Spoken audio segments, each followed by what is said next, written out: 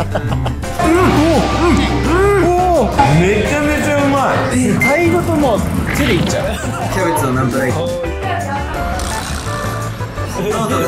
スイーツ男子のただえー、タイのバンコク本日3日目を迎えております今日はねバンコク野郎2人ではありますがはい女子力高い時 なんでかわかんないけど 今日はなんかちょっとスイーツとか攻めてみようかな、ね。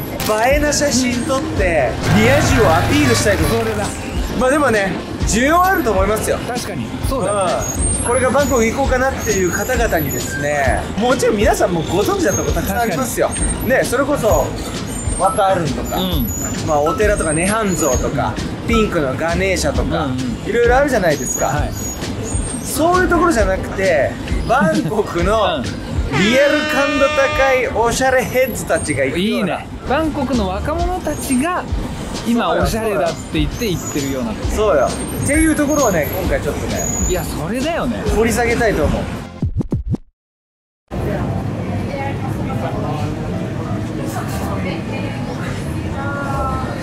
皆さんこんにちは。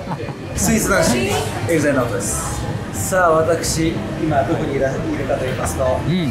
こちら今日はですねもうねタイのスイーツ全部食い尽くすぞの企画なんでブルーホエールさん来てます。見てください。これカフェ的なあのカフェ飯充実。トーストになんやパンやらいちごやら乗っける映え飯からの僕の今日ちょっと試してみたい。うん。こちらです。バタフライピーラテ青いのよ。珍しい。どんな味なのか想像がつかない。つかないよ。だって青い液体って生まれてこの方かき氷のブルーハワイのシロップしか。確かに。行ってみましょう。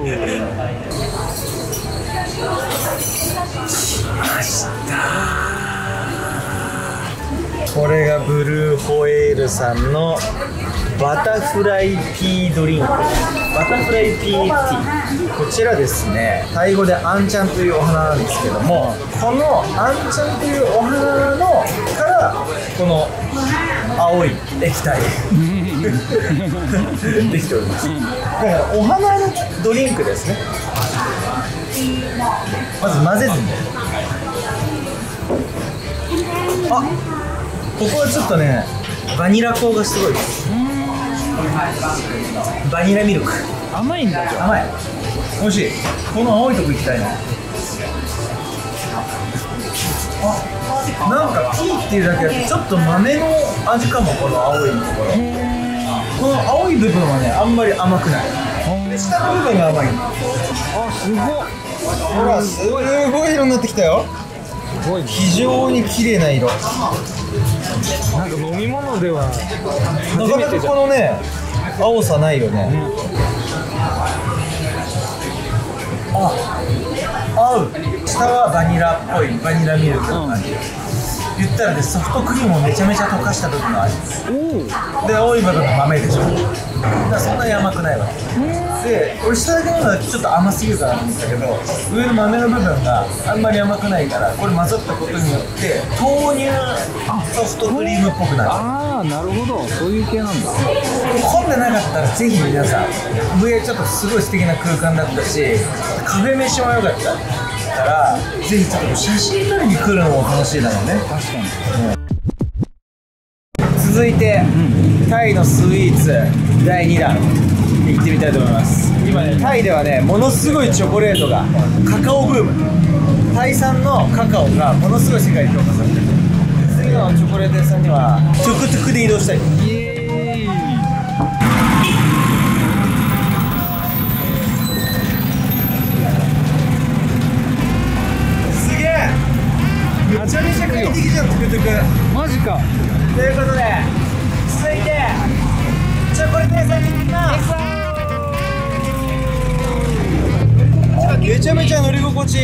快適。風が気持ちいい。気持ちいいね。扇風機ついてるけど全く稼働してない。しかしまあさタイに来てさ一個ものすごいこう困ってることが一個あるよ俺。順調だと思ってたけど。順調だと思ってるでしょ、めちゃめちゃ由々しき問題よ今。飯もうまいし。飯もうまいでしょ。人も優しい人も優しい。ね天候もいいしそれをさっぴいてもお釣りが来るぐらいな。由々しき問題。え？蚊に刺されまくってる。あそうだ。10箇所以上はかゆいところあるからね。かゆくないところ探す方が難しい。今この間で蚊に刺される瞬間あったのいつ刺されてんのかが分かんない。やっぱりタイスイーツをさ語る上で今カカオはさ絶対に外せないポジションにいる。ということなんでこのトゥクトゥクに乗ってタイのカカオを食べに行きます。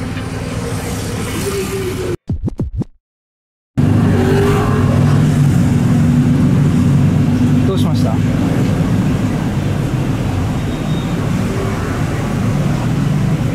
閉まってました。え？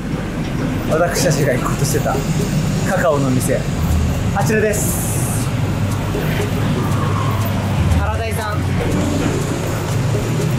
1月3日ってことを計算に入れてなかった。直人片岡の旅のルールに新しい項目増えたわ。行く前に電話してやってるからそうだこれは時間を無駄にするよ。そうだよね。本当にみんなやってるかもしれない。もうすでに教えられないうわー。俺の今のカカオの口どうしてくれんのよ。まだ他に候補あんの？あるよ。お。ということで次はまずはこちら。アフターユータイスイーツを語る上では絶対に外せないお店アフターユーここで絶対食べた方がいいのはかき氷。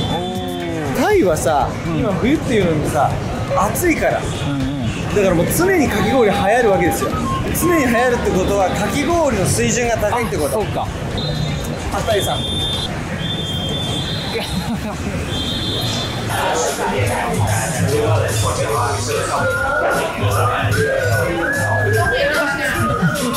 怒ってる怒って来ました。こちらがですねアフターユーさんのかき氷。えー、いろんな味あるんですけれどもなんか一番すごいこうメインらしいんですけど僕はタイティーを選びましたよ、じゃあいただきます。これ何この氷自体がもうさすでに色ついてる。んだよねいただきましょうまずちょっとこれソースがあるんですけどこのソースにかけずに。甘い紅茶。甘い紅茶の香りがします。いただきます。うん。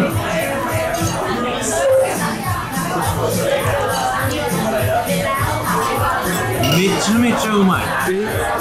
ちょっとかき氷とは違うかもこの氷の部分が、まあ、ある種すごいあのめちゃめちゃふわふわのスポンジケーキのような感じ。でも口の中ですぐ溶けちゃうから氷なんだよ。へいや食感的にはふわふわ、うん、ちょっとこの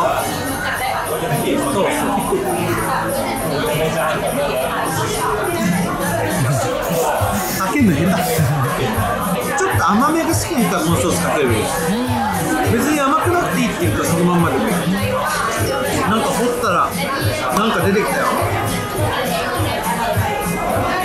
なんかスポンジをそれこそスポンジケーキみたいなの出てきました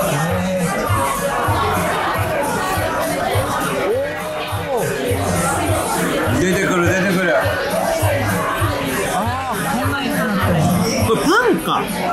パンとコーヒーゼリーみたいな。一番このかき氷において。革命的なの。はやっぱりなんといってもこの氷だね。全く氷のシャリシャリ感がない。もうただただふわふわ。日本でもいい氷使ってふわふわのかき氷あるけどその氷自体に味がついてるからまたちょっとそれと違うの。これは絶対人気出るわ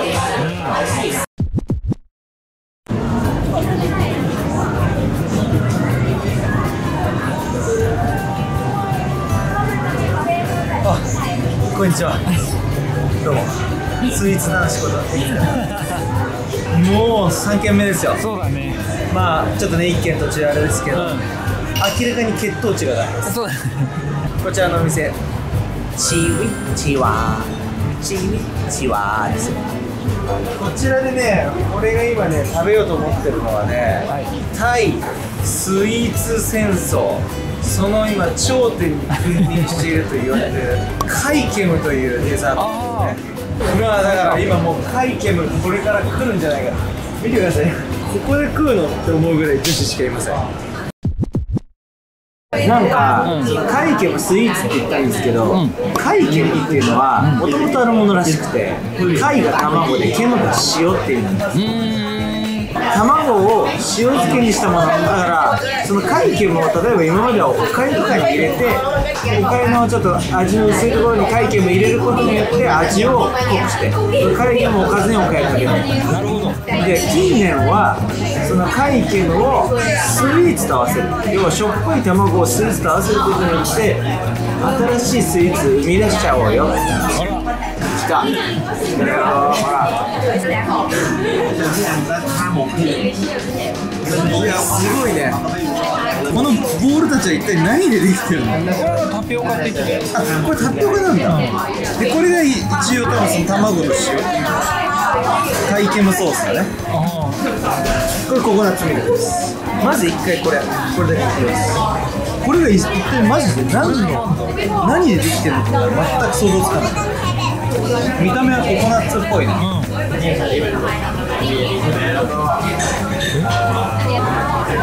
冷たえ？これも氷だ。これ氷なのか。ソフトクリームの味よ。バニラアイスとかソフトクリーム。じゃあタピオカと合いそうそれ合うよ。うわーじゃあちょっとソース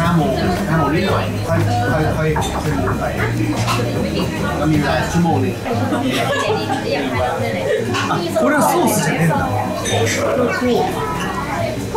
なるほどあでもほんとちょっとかき氷シロップみたいな感じ多分だから今俺が食ってたのはカイケムじゃないんだこれって初めてカイケムにななんか？こういうことやること自体がちょっと楽しいしそういうことだね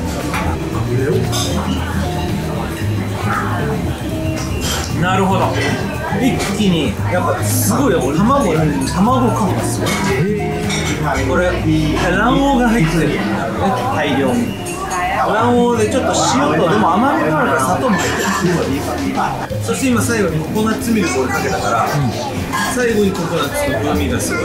しっかり。ココナッツミルク好きとしてはこのタプタプにしていきたい。これがちょっとちょっとふわしゃり。ふわしゃりの氷ともちもちでしょ？あでそこにちょっと塩味がプラスされるからうまい。やっぱりこのソースだねポイント。あそうなんだ。塩味。これがちょっと塩味効いてることによって甘ったるいだけじゃない。味が。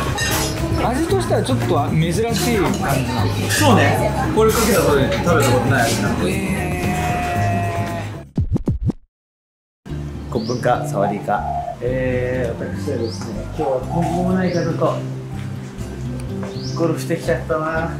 楽しかったね。楽しかったわ。ちょっとねいろいろお話聞けてその方に確かに。登場してもらいたいな。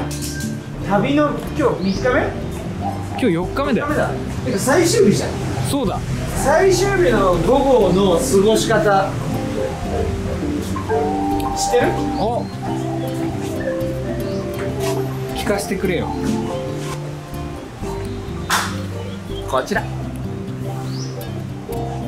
最終日の午後にはプールを入る。イエーイ。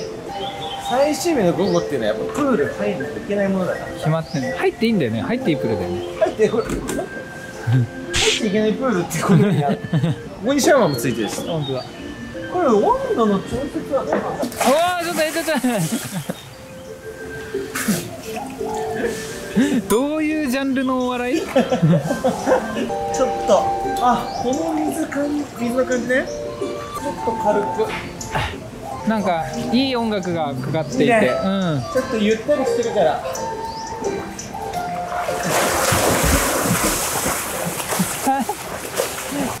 プールってバタフライしないから。俺の約約20年ぶりぐらいのバタ じゃあ俺の潜水何何分できるか知ってる？えいやじゃあみ撮る？その間。俺所さんのジャックマンヨールって呼ばれた。おいいね。いいね。いい？いや。よーい。スタート。さあ、えーこの間に、えーとホテルを紹介させていただきます。ここは、えーバンコクの市内にあるホテルです。ねスタッフの方々もすごいこうホスピタリティがあって今回は2つのホテルに泊まったんですけども、僕も、えー、直人もこちらのホテルのこうゆったりする雰囲気が気に入っています。ちょっとロビーの方もご紹介をしたいと思います。ロビーだね。あちょっとあ上がった。上がりました。上がりました。上がりました。うん。急に上がった急に上がってきた。急に上がってきた。体感体感。体感どんぐらいだった？リアルでいくと1うんそうだね。当てに当てに来た1分、1分15はいった気がする。えっ、と iPhone 上代1分39秒。おでもま結構すごいと思うよ結構すごいのよ。うん。まだ伸びるなと思って伸びしろ確かに今呼吸安定してる。うん伸びしろ感じてる。え？これじゃあ感覚的にあじゃあどれぐらいいけんなっていうの？2分はいける。準備できたら言ってください。気持ち整ったら。OK ですね。いきます。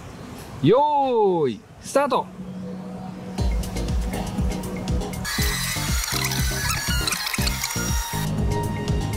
30秒経過。1分経過。1分30秒。1分40秒。42434445 1 2分。一、二。三、四、五、六、七、八、九、十、十一、十二、十三、十四十五、十六、十七、十八、十九、二十。うわー、おお、すごいと思う。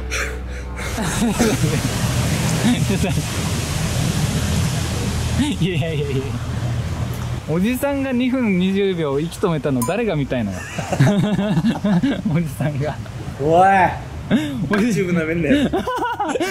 あいるんだ。ちゃんとがっつりターゲットがいると思っての。そう。めちゃめちゃ普通いそうには刺さるのかな。すごいね。お前入んねん入りたい。入りたいですし。一回止めてくれ。大丈夫。ということではバンコク最終日もう間もなく、えー日本に帰るところなんですけれどもえー、まあバンコク本当に、えー、4泊5日の旅でしたけれども、今までいろんなアジアの国に行ってきましたけれども一番自分的にヒットしたのいうん。なぜなら飯がとにかくうまいということでですね、はい。えー、締めは最後。今私駐車場にいますけれども。ねここからどんな景色が広がってるか皆さんわからないかもしれませんけど。いよいよタイのお別れの最後の景色です。こちら。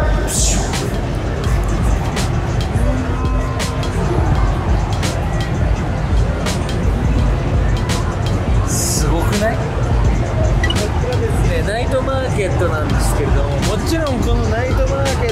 ット以上エキザルタ元が行くタイバンコクの旅でした。で私は旅行大好き人間いろんなところに行くんでこれからもですねこの相棒行こうと,、えー、と旅行に行ってちょっとくだらない、えー旅日記をですね皆さんにお届けできたらと思います。はい。で、えーぜひ皆さんえーコメントや、えーいいねボタンそして Twitter、インスタのアカウント、えー YouTube チャンネル登録ぜひお願いします。ということでバイバイ。バイバ日本に帰り。まめでたい。違うな。違うな。